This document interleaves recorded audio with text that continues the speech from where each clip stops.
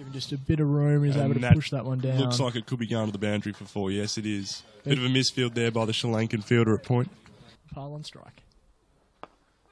Crunch through the offside. That is a brilliant drive. It's gonna go all the way. That's a four. Four runs.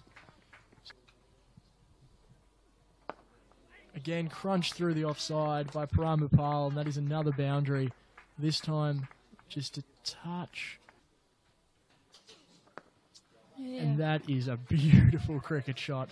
Just cut brilliantly between the man at point and cover. And that just no need to move at all. That was No. four runs as soon as it hit the bat. As Badilla comes in. Big shot from Param Uppal, who finds the boundary at mid wicket. And nicely placed there into the gap past the man in the ring. Three. As Badilla comes in again here. He's down the wicket. Oh, wow. Dancing long over mid on, and that's going to go all the way for six. On the far far end of the wicket, so it's probably the shorter shorter boundary. So nicely cut away by Param Uppal, who will raise his bat for a half century. A brilliant knock this has been from the Australian co-captain, who's anchoring a chase of 223 to win. Piles hoisted that one down, but comfortably caught in the deep.